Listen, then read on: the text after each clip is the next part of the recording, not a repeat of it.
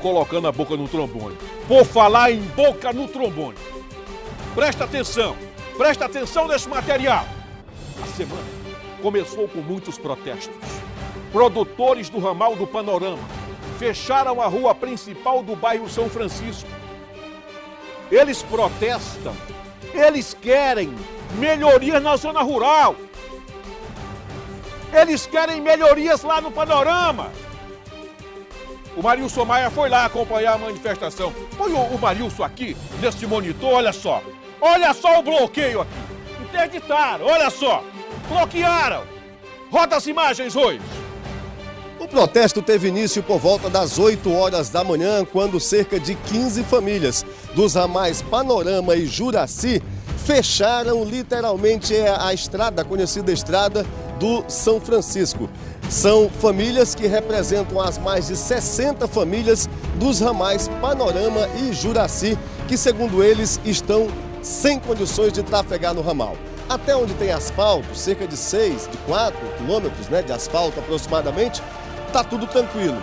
Quando termina o asfalto, aí começa o sofrimento destas famílias. O bloqueio está feito, sendo feito aqui por pedaços de madeira, por pneus velhos, por restos de móveis, enfim, fogão, fogões, e eles pretendem manter esse bloqueio aqui até que tenham uma posição, que eles tenham uma posição favorável da situação deles, de que uma garantia de que o ramal será recuperado, o ramal será colocado em boas condições. Além disto, eles reivindicam também melhorias nas escolas que estão em precárias condições e também nos postos de saúde, que segundo eles já não funcionam mais porque estão parados. Eu vou conversar com o vice-presidente da Associação dos Produtores Ribeirinhos dos Ramais, que pode nos dar detalhes. É o Francisco, né? Francisco de Assis. Francisco, a situação aqui é complicada, você já vem reivindicando isso há um certo tempo e nunca tiveram sucesso? Como é que é? Com certeza, muitas vezes nós mandamos já ofício por DIRAC, né? Mas a gente não tivemos uma resposta concreta e a gente agora chegamos no nosso limite. Cheguemos no extremo, vamos fechar, vamos por tudo ou nada, porque a gente já estamos cansados de ser abandonado. A gente já não, já não tem sossego, se no, no, no verão é poeira e no inverno é lama. Então a gente vê, é, a gente vê que nem porco. Só melado de lama todo tempo. Não tem condições. O ramal tem quantos quilômetros, Francisco? O ramal em todos são, são 9 quilômetros, mais 4 de asfalto e 5 de, de barro, fora o ramal da Juraci. O, só o ramal, do, ramal do Panorama são 5 quilômetros no barro. No barro. Que no inverno fica intrafegado. Intrafegado. Sem... Nessa época do ano, essa época seca, muito buraco. Muito buraco e muita poeira. Então não tem condições.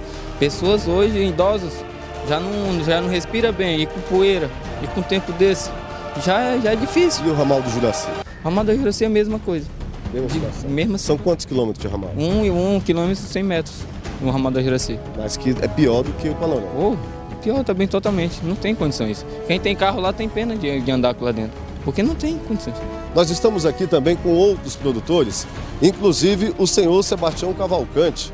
O senhor Sebastião, cadê o senhor Sebastião? Seu Sebastião, que inclusive é um dos moradores que mora no final do ramal, seu Sebastião. Isso. E a situação lá é complicada. Triste, triste. É o último morador do ramal. É o último morador do ramal, O senhor. último morador. São 5 quilômetros de sofrimento. Exatamente. Eu, eu tenho uma canoinha para andar, mas a minha velha é doente, não pode nem descer o porto nem nada. Você sabe que o porto desse rio é horrível nesses portos, né? É aleijada, não pode andar para descer porto nem subir. Então nós precisamos desse ramal. De repente a gente adoece lá, é ligeirinho, o pessoal vão buscar a gente, hospital, faz alguma coisa, né? Quer dizer, que fica difícil com. E outra, eu trabalho na roça, eu planto muita agricultura lá, muita roça, muita coisa que eu plantar. Está aqui uns que conhecem minha plantação lá. É preciso eu escoar minha plantação, porque eu vou tirar por onde. Com a permissão dos produtores rurais que desmontaram parte do bloqueio para que nós pudéssemos passar, nós fomos até o ramal, nós entramos no ramal Panorama e chegamos até esta escola, onde funciona aqui cinco turmas, apenas um professor lecionando para essas cinco turmas. Nós chegamos exatamente no momento em que as crianças estão estudando e esta é a escola. Está em, realmente em situações complicadas, está precisando de uma boa reforma. A merenda aqui, onde funciona a cantina aqui, também precisa passar por uma boa reforma. Enfim, a escola precisa realmente ser recuperada. Agora, de acordo com informações, é, uma situação que a escola está passando, segundo informações, é que impede que ela possa ser recuperada. Ao que parece, ela é uma escola do Estado, mas quem é, gerencia, aliás, quem está localizada dentro de um terreno particular. O empresário cedeu o terreno para que a, a escola pudesse ser construída. Depois, ele cedeu um outro terreno aqui próximo, todo documentado, para que o Estado pudesse construir outra escola no local.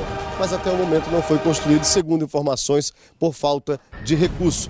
E também não pode ser recuperada essa aqui, não pode ser reformada até que ela seja construída em outro canto, porque reformar para não continuar aqui não vale a pena. Mas infelizmente, desde 2009 que ela está na planilha para ser recuperada e até o momento não foi. Ou se construir outra escola no terreno que foi doado, mas também não aconteceu. Essa é uma das revoltas dos produtores rurais que pedem melhorias na questão da educação com relação às escolas que funcionam aqui, sobretudo esta escola no ramal Panorama, a alguns quilômetros de, de Rio Branco.